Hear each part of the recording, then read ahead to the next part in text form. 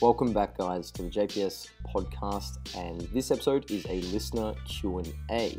Some of the topics discussed in this Q and A episode are how to deal with low motivation, whether or not everyone has the potential to compete, the best exercises for quad hypertrophy, whether or not creatine contributes to accelerated hair loss, what the role of increasing calories has on weight loss and energy availability also discussed uh, some questions relating to opening a facility, strength loss when cutting, as well as how to approach dieting over the festive season, and finally, progressive overload and volume. So, this will be the final podcast episode for 2018. Thank you all for listening and tuning in. I do really appreciate it, and I'm looking forward to bringing plenty more guests on in the future to help spread solid information to you guys to help you with your own fitness endeavors. So let's get into things, and I hope you guys enjoy this listener Q&A. Welcome back, guys, to the JPS podcast, and on this episode we have a listener Q&A. So to those of you who submitted some questions to me, whether it was on Instagram, Facebook, or email, thank you very, very much. I thought the questions were absolutely brilliant, and I'm excited to get into those today. To those of you who submitted questions that I'm not going to have time to answer, I will respond to you privately with uh, my thoughts and comments on those questions, and hopefully, I'll be able to uh, answer them appropriately for you. Without further ado, let's get into things. So, the first question I have is from Tamara, and she asks how to tackle a situation where you can feel a client's motivation dropping. For example, they stop sending progress pictures, they're not checking in, or only coming to train when they have scheduled personal training sessions. So, this is a really common issue for many people, both coaches and lifters. Motivation's going to fluctuate quite a lot throughout somebody's training career. There's going to be periods where they have high motivation and they're not going to have any issues sticking to their diet or training and then there are going to be periods where motivation is lower and they're just not feeling it. There are a multitude of factors that can influence our motivation, uh, seasons being one of them, especially with uh, you know, the winter when it's cold. This can make uh, training a lot more difficult. It can then have a cascade of effects on somebody's dietary adherence and compliance to the plan. But nonetheless, I think it's important to understand that when motivation is high, we need to capitalize on it and aim to make as much progress as possible. So we want to get a couple of steps ahead and see progression in whatever it is the client's goal is, whatever your goal is, uh, to make sure that you do get ahead so that when those periods of low motivation do come about, you can taper down the training, the, the diet, and you can set in place a plan that can at least maintain uh, the individual's you know, strength and muscle adaptations or their body weight and they don't go too far backwards because motivation will climb again soon, hopefully, and then you can start to progress forward. And remember, it's always easier to maintain uh, anything that we achieve than it is to develop it in the first place. So when motivation is high, I really like to aim for progress and to push things in the right direction as much as possible so that when low motivation does come about, we're simply aiming to maintain and we can have a much more uh, user friendly approach to how we structure things. But in those periods of low motivation, I think it's important to, to be pliable, adjust your expectations, and don't try to fight it when it's just not there. You might need to adapt the plan, make things a little more uh, flexible, whether it's the nutrition or the training, and just try to keep things ticking along so that you're not going backwards. It, it's very much a case by case basis when I'm working with an individual because there's going to be a specific factor that's influencing their motivation, whether it's injury, it could be the weather, it could be the increase in their stress from work, whatever the case may be. Priorities changing, lots of things. But generally speaking, uh, you just need to be flexible and keep the client in the game, keep yourself in the game, and just be mindful of what it is that's hindering uh, your motivation, your ability to adhere to the plan, and do your best to address that so that you can put yourself in a position uh, to pick things back up and train as you need to to achieve your goals. So I hope I answered that question Tamara. Another question I had from Tamara was Do you think everyone has the potential to compete if they put in enough work? And I usually don't allow people to ask two questions, but I couldn't help uh, but want to answer this one because I think it's very common for people to want to compete in physique and get on stage, but not many individuals actually think critically about this decision.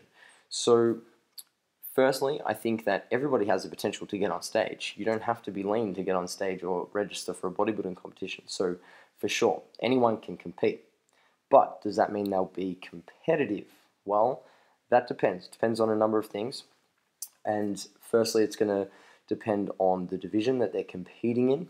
For example, if somebody wants to compete in a bikini show, they're not going to require a lot of years of hard training.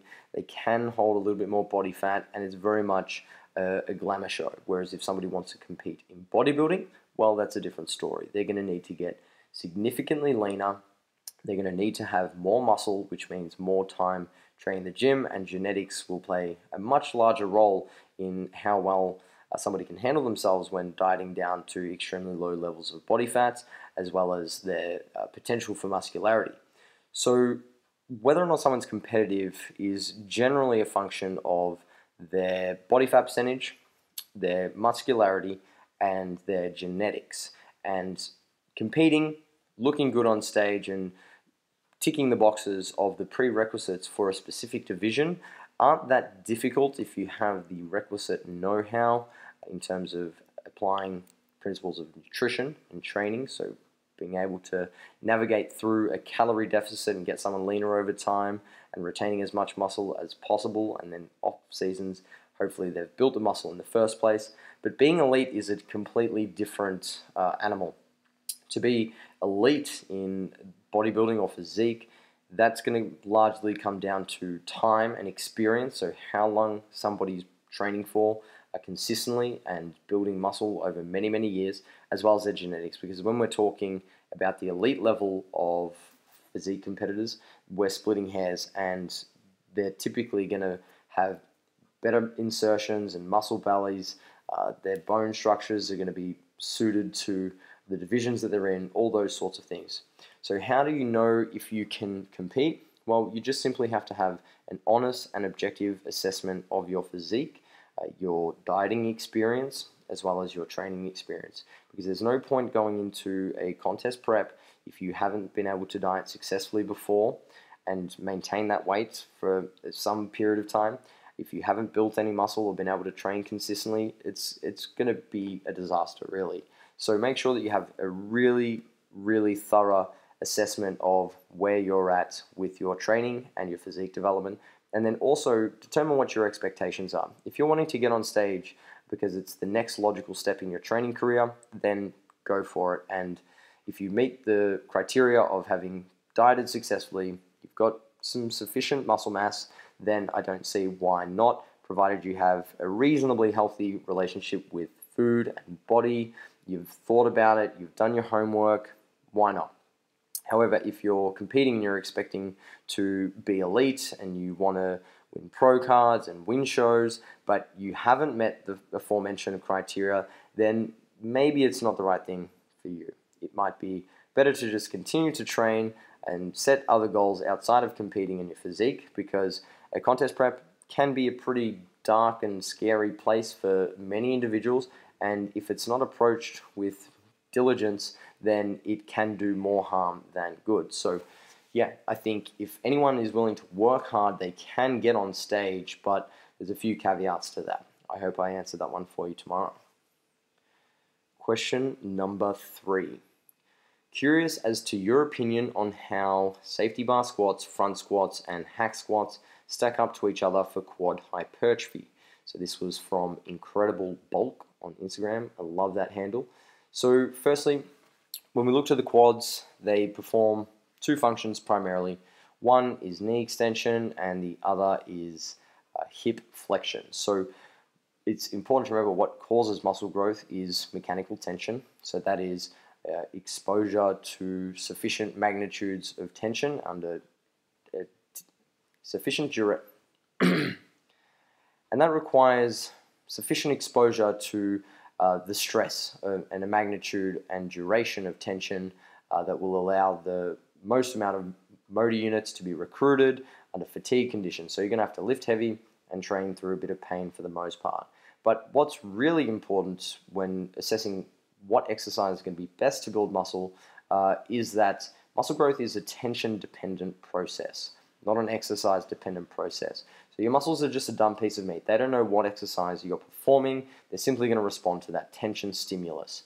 So when it comes to building bigger legs and quads, my experience and understanding of both muscle growth and biomechanics uh, has led me to the viewpoint that the best multi-joint lift uh, for quad growth will be an exercise that allows you to achieve deep hip flexion without pain or discomfort or any compensatory movement. So without leaning forward excessively or losing upper back tightness or having your erectors uh, be overly involved in the movement, so on and so forth, uh, whilst allowing you to lift the greatest absolute loads. So for many individuals, this is going to be a function of their individual orthopedic profile, their leverages, their mobility and stability at certain joints. So it's not really a case of which exercise is better.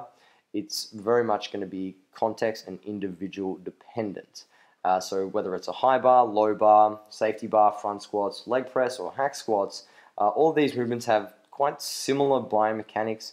Uh, and again, they're training the primary functions of the quads, which are knee extension and hip flexion. So the lift you click with, the one that you gel with and feel really comfortable performing, and again, allows you to get into a position where you're in deep hip flexion and you don't have pain, you can use a serious amount of weights uh, that's going to be the one that's going to allow you to achieve the best gains. So, dude, I hope I answered that one for you. Question number four What's your opinion on studies that have found creatine to contribute to accelerated hair loss? So, this was a little bit of a left of field question, but I wanted to include it to highlight a few important uh, points about reading research and understanding uh, science. But I'll answer the question firstly, and I'm not going to claim to be an expert in this field, and I'm not too familiar with the research, but I did some digging, checked out examine.com, great resource for you guys uh, when it comes to supplements, and dihydro- dihydrotestosterone, so DHT, is a derivative of testosterone uh, that's known as being more potent at signaling through androgen receptors, uh, which are involved in hair loss. So DHT and genetics will play a predominant role in male pattern hair loss. So there's only one study that has examined uh, creatine and DHT and the link between uh, those two factors, and it was in males. And there's many others uh, that have shown that creatine doesn't affect testosterone levels. And since DHT is a metabolite of testosterone, uh, there is some doubt that creatine really increases DHT. So as it stands, there's no studies directly examining creatine and hair loss. Uh, so we can't say for certain whether it does or not. If you are genetically predisposed to hair loss, maybe, but I'm not 100% certain uh, at this stage, and I'm not confident in giving a response. But more importantly, what I wanted to discuss and why I included this question in the Q&A was that when we look at research, we need to recognize the hierarchy of evidence. So understanding that not all studies are created equally. We have some areas of research with decades and decades of high quality investigations, such as energy balance. And then we have other areas with lower level research where there might be only one or two studies that are poorly controlled. Uh, they're not determining cause and effect, they're observational or longitudinal studies, whatever the case may be. And this is going to really determine how much weight and stock we put into uh, the findings of this body of research. So we need to make sure that we take the findings of a single study with a grain of salt and always look to the entire body of literature. And in the instance where there's only one or two studies, like the creatine uh, and its effects on hair loss, we need to be wary of believing that to be 100% true. So, again, reserve your uh, beliefs and how much emphasis you're going to put into that study until more research comes to light. And finally, I just want to point out that when you're looking into these sorts of things, be resourceful. So practice try, not trying to find the right answer or asking people who are not uh, specifically involved uh, in the research or the specific topic that you're looking to know more about. So find a better way of getting information. And whilst I'm very humbled that you asked me to answer this question, I am not an expert in the field, and there's a lot of fabulous resources out there like examine.com uh, and potentially other uh, people who would be well versed with this kind of literature. So make sure that you uh, ask them in future. And just remember that good thinkers have an amazing way of getting to an answer. So don't look for the right answers. Think about how you can ask better questions and be more uh, diligent in how you're looking for information. Question number five increasing calories and weight loss. Is this more common in females and is energy availability, as studied by Anne Loucks, uh, valid? So this was from Facunda Sasson. No idea how to pronounce that, I apologize. So, firstly, let's address increasing calories and weight loss. Now, this isn't any magic metabolic voodoo. Uh, it's simply a case of people starting to adhere a little bit better once the calories are raised. And when the calories are raised, they're at an energy deficit because if you're raising calories and you're at surplus, you're not going to be losing weight. So simply what happens is many people will try to diet on overly restrictive uh, or extreme uh, calorie deficits and they can't adhere to it. They might even be misreporting, so they'll follow the diet for a couple of days and then binge. And then when their calories are raised, it's a lot more sustainable and achievable. They start reporting properly and they don't binge any longer. So they're actually adhering to a calorie deficit. So that's usually what happens. So, in regards to energy availability, uh, this is a different animal, completely separate to uh, increasing calories and seeing weight loss. But for the listeners who are unaware, energy availability simply refers to the net energy available after partitioning of dietary energy, uh, typically among the five major metabolic activities. So that's cellular maintenance, thermoregulation, locomotion, growth, and reproduction. So the use of energy for one function will mean that uh, it's unavailable for others. And this is where energy availability has really come to surface of late because when we have athletes who are exercising, so performing a lot of locomotion, uh, they're using up significant amount of energy they're on low calorie intakes, which means they don't have enough energy for reproduction. So, very common in uh, female athletes. And as it stands, there's a body of research building in this area, and it's looking to be quite compelling. Uh, and the validity of energy availability theory as being one of the primary uh, reasons for hormonal disorders, which is what most people are interested in at the moment, uh, is, yeah, as I said, quite compelling. So the other hypothesis are that it's stress related or body composition related, but uh, yeah, Anne Loucks is looking into uh, energy availability as being the reason uh, behind the reproductive uh, downregulation when we have low Uh, energy intakes and high energy outputs. So I hope I answered that question for you. Question number six. In a bulking phase, eating in a surplus on training days and maintenance calories on rest days. Is that a good idea to minimize fat gain while maximizing hypertrophy? Or are you putting yourself in a position for submaximal growth? Good question, Chris. And I for sure think this can be beneficial uh, if it improves your adherence and is something that you prefer. A lot of people love the complexity of having high and low day structures within uh, their week and altering their calorie intakes on their training days and rest days or weekends and work days, whatever the case may be. But provided the rate of gain is uh, appropriate over the course of the week, so not looking to your scale weight on a daily basis when we're trying to build muscle, because muscle uh, will muscle growth will take a lot longer than fat loss. So we need to look at averages over weeks and months.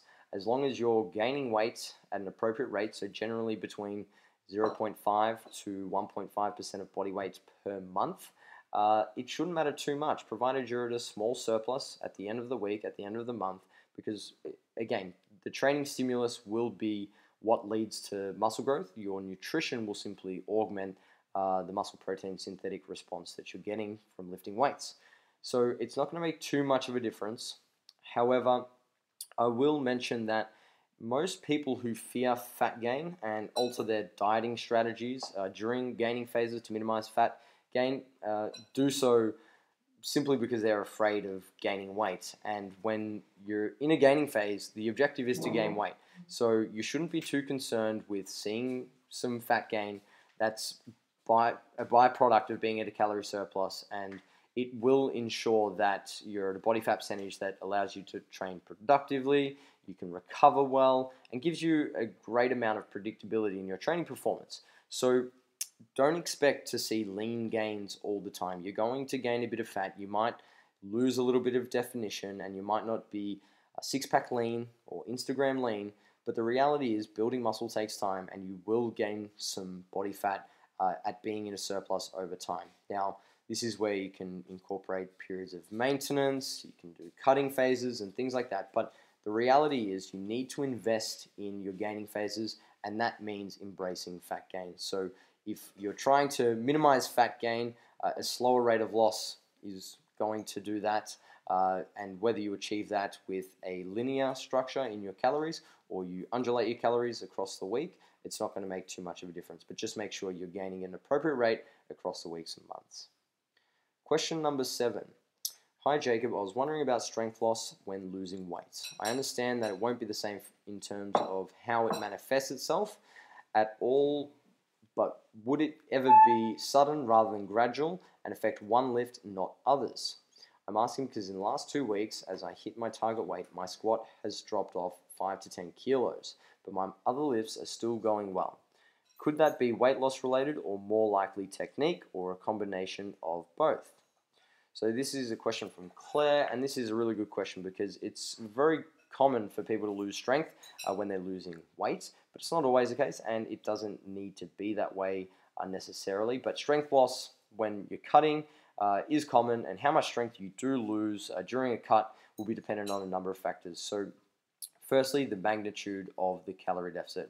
So, if you're at a small calorie deficit, you know anywhere from 10 to 20 percent below maintenance, you shouldn't see that large uh, a drop in strength initially, at least.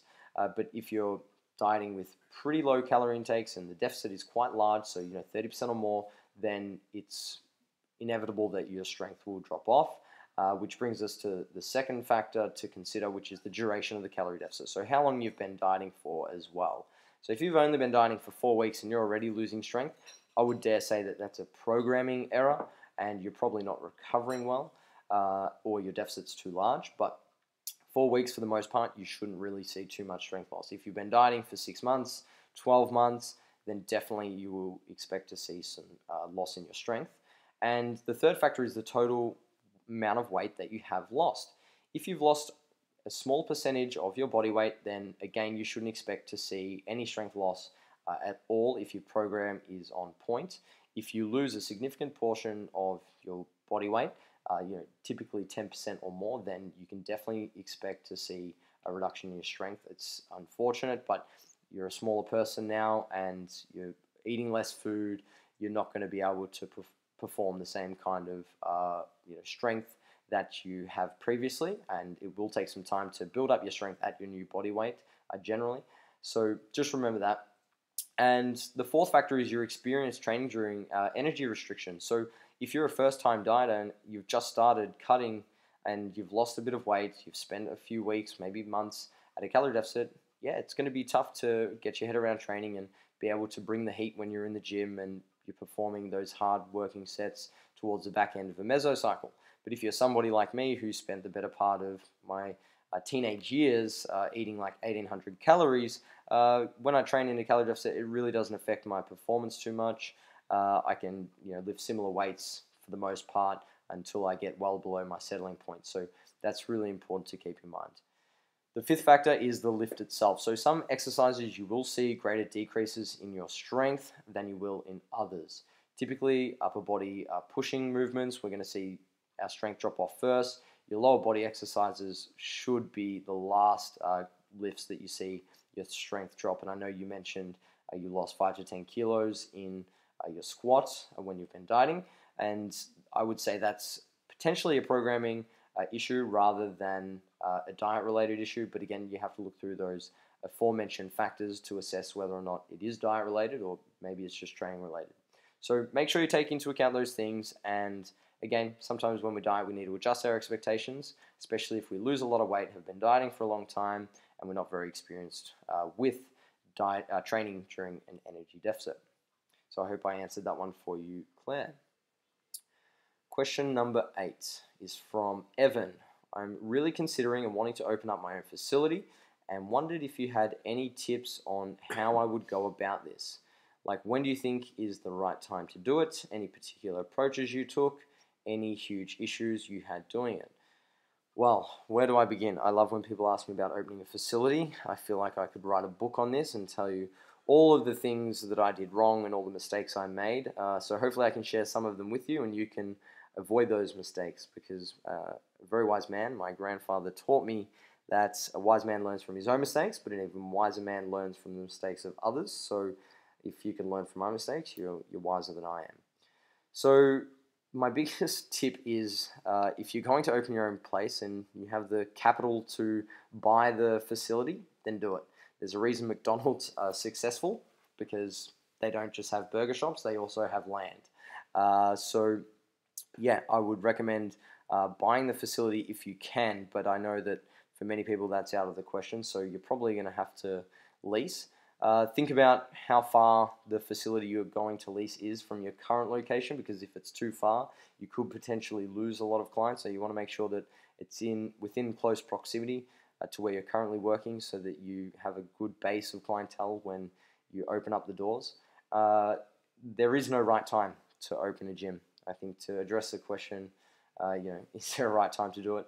There is no right time. You, you have to be confident that the decision to expand and venture out on your own will result in a favorable outcome. So, whatever your definition of success is, should dictate whether it's going to be a good decision, and that's largely up to you. I can't tell you that. Uh, if financial uh, gains are your definition of success, then opening a facility will mean you're going to have a lot more overheads, a lot more expenses. So you're going to need more clients, and you have to think about other ways you're going to generate revenue and income.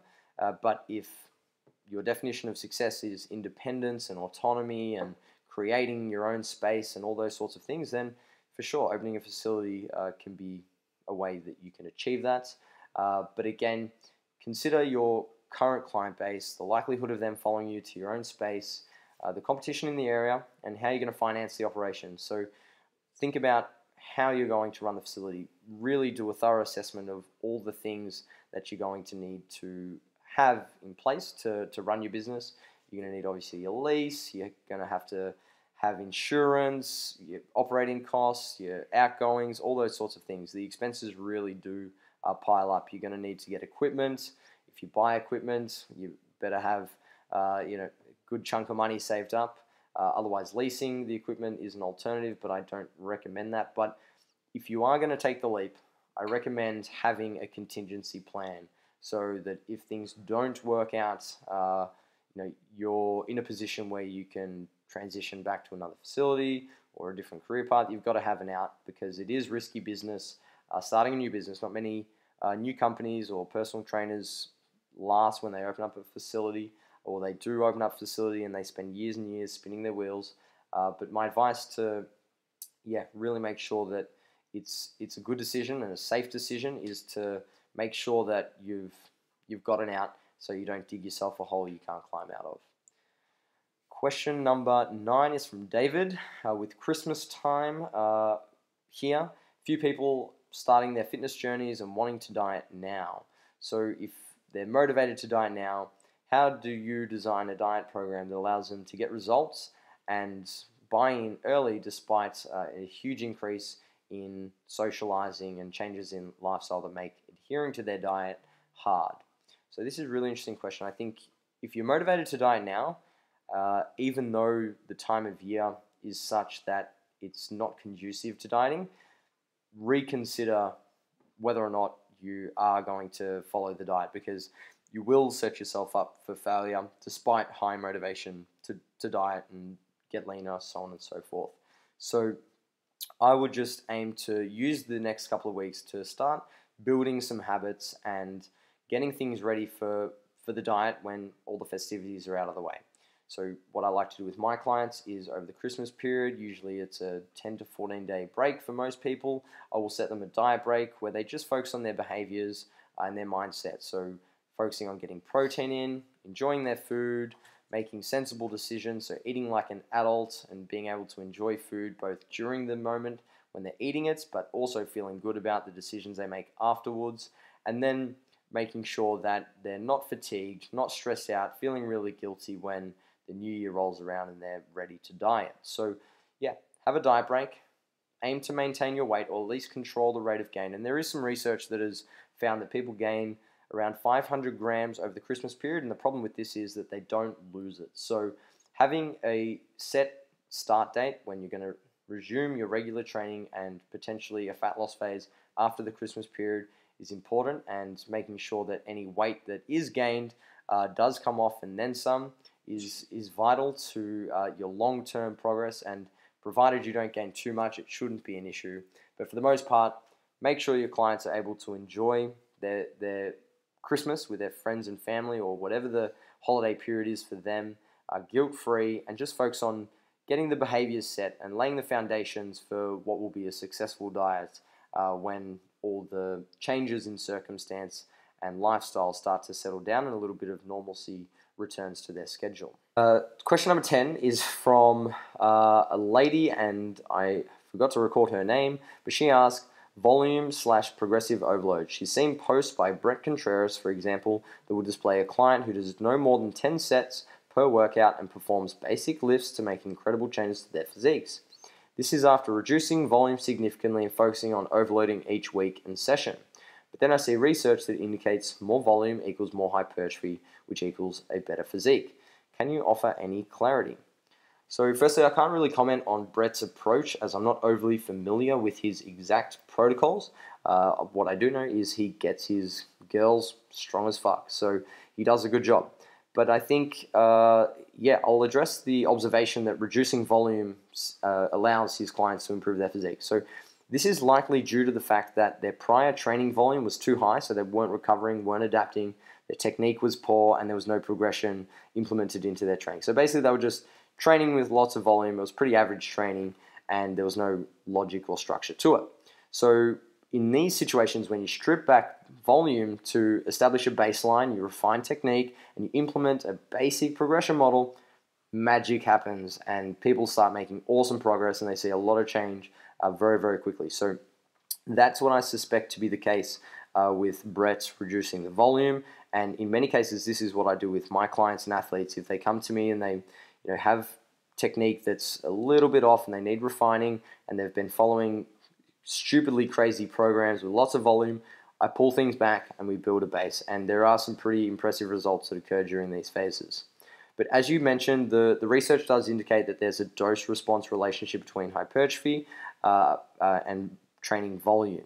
So, meaning for those of you who might not be uh, familiar with this concept, more volume equals more growth up until a point, and then it starts to flatline and you get diminishing returns.